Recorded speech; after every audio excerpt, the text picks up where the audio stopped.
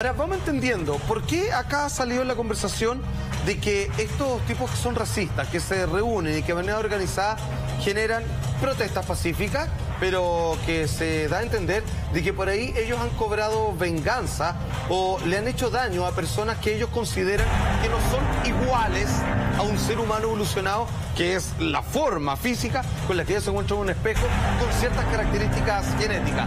Por discurso del propio presidente de Estados Unidos, discursos como estos. From this day forward, it's going to be only America first. America first. Every decision on trade, on taxes, on immigration, on foreign affairs will be made to benefit American workers and American families.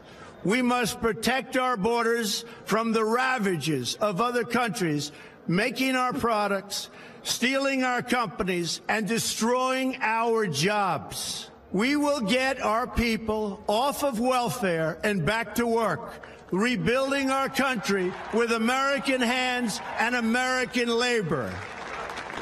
We will follow two simple rules buy American and hire American.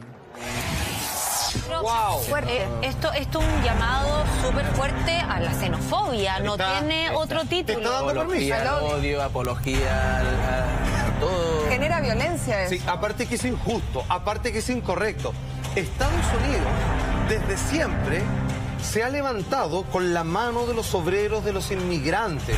Hoy día ellos llaman iguales, no sé, irlandeses, italianos, pero finalmente esto eran personas que vinieron de distintos lugares de Europa en un comienzo y posteriormente de Latinoamérica y Centroamérica. Entonces estamos hablando de un país construido sobre la base de una mezcla cultural de personas que han dado su vida, soldados, ¿cierto? De ahí su nombre, son Estados Pero Unidos. parece es como que él un no país es que funciona de manera por segmentos separados. La esposa de Trump es eh, inmigrante. Sí, Bueno, es es un buen punto. De hecho, los padres del caballero También. y así, También son inmigrantes. Porque no resiste análisis, si no existe algo en la raza pura, sí. Yo El, el nacionalsocialismo es algo que falló.